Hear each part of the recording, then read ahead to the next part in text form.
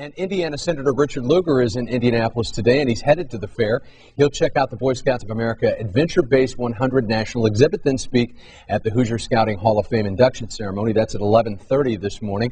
Lugar is an Eagle Scout, and he's going to talk about the organization's 100th anniversary.